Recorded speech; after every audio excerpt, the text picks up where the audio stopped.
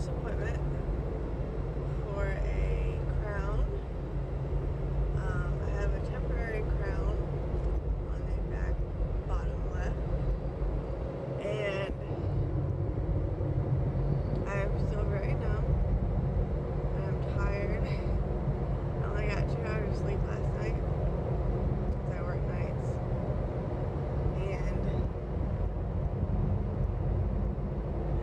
the process okay.